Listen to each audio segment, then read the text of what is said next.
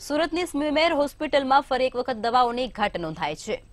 સ્મીમેર હોસ્પિટલમાં દવાઓની ઘાટ પડી છે. સુરતથી સમાચાર સામે આવી રહ્યા છે. ત્યારે અસ્થમાની દવાની જોવા મળી છે અછત. અસ્થમાની દવા છે તેની હોસ્પિટલમાં અત્યારે અછત જોવા મળી રહી છે. ત્યારે અસ્થમાની દવા ઘટતા દર્દીઓને પણ હાલાકીનો સામનો કરવો પડી રહ્યો છે. સુરત ઉપરાંત દક્ષિણ ગુજરાત અને મહારાષ્ટ્રના દર્દીઓને પણ હાલાકી ભોગવવાનો વારો આવ્યો છે. ત્યારે જરૂરી દવાઓ નહીં મળતા દર્દીઓને મુશ્કેલીનો સામનો કરવો પડી રહ્યો છે. સમાચાર છે તે સુરતથી સામે આવી રહ્યા છે. ત્યારે દવા માટે દર્દીઓને વારંવાર ધક્કા ખાવા પડતા હોય તેવા દ્રશ્યો પણ સામે આવી રહ્યા છે. ત્યારે આર્થિક રીતે નબળા દર્દીઓને બહારથી આ દવા લેવી પડતી હોવાની પરિસ્થિતિ છે તે ઊભી થઈ છે. અસ્થમાની દવાની અછત છે તે સ્મીમેર, સુરતની સ્મીમેર હોસ્પિટલમાં જોવા મળી રહી છે. ત્યારે અસ્થમાની દવા ઘટતા દર્દીઓને હાલાકી પડી રહી છે. દર્દીઓ છે તે મુશ્કેલીમાં મુકાયા છે. ત્યારે સુરત ઉપરાંત દક્ષિણ ગુજરાત અને મહારાષ્ટ્રના દર્દીઓ છે તે પણ આ હોસ્પિટલમાં સારવાર અર્થે આવે છે અને આ તમામ દર્દીઓને મુશ્કેલીનો સામનો કરવો પડી રહ્યો છે.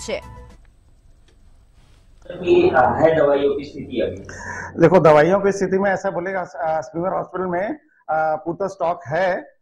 नॉर्मली जो होता है कि जो दवाइयाँ जो होती है हॉस्पिटल सप्लाई जो होती है वो सेंट्रल मेडिकल स्टोर सूरत महानगर नगर पालिका का सेंट्रल मेडिकल स्टोर स्टोर द्वारा हमें दवाइयाँ मिलती हैं। या हमारे जैसे ही दूसरे हॉस्पिटल जो हैं अर्बन हेल्थ सेंटर्स हैं मेटर्निटी होम्स है उनमें भी इस तरह ये दवाइयाँ जाती हैं। अब सेंट्रल मेडिकल स्टोर की टेंडर जो दवाई खरीदने की टेंडर प्रक्रिया है, वो चालू, नॉर्मल जो प्रोसेस होता है, उसमें चालू ही है।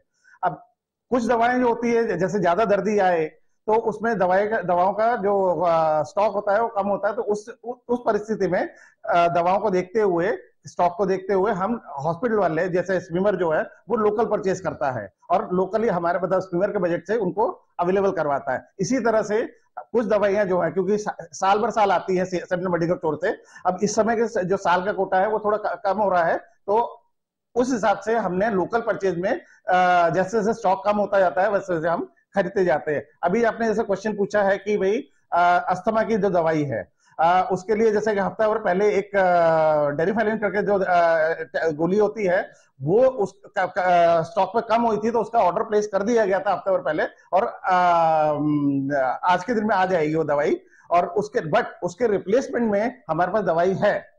सालब्यूटामल करके जो उसके रिप्लेसमेंट है वो दवाई है और डॉक्टर ने वो प्रिस्क्राइब की है। ठीक है?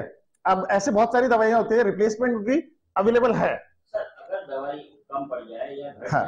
दर्दियों को जो मुश्किल होती है, उसके लिए क्या निवारण किया जाता है? नहीं वही चीज़ बता रहे हैं दर्दियों को कैसे ये चीज़ इधर इस तरह से गई है कि दवा तो अवेलेबल ही है, ठीक है ना? अगर एक दवाई नहीं है तो उसके रिप्लेसमेंट तो है ही। जैसे एफबीबीसी नहीं है तो उसका बी कॉम्प्लेक्स होता है। मीनवाइल हमने वो तो कर ही दिया है। क्या नाम है जो परचेज ऑर्डर निकालते हैं, वो तो निकाल ही लोकल परचेज करते हैं, वो तो निकाल ही दिया है ऑर्डर कुछ दर्दियों की जैसे दवाइयाँ नहीं वो वो वो मुझे मैं मैं वो जानना चाहूँगा कि वो कौन से दर्दी हैं उनको क्या प्रॉब्लम हुई है? क्योंकि दवाई तो अवेलेबल है।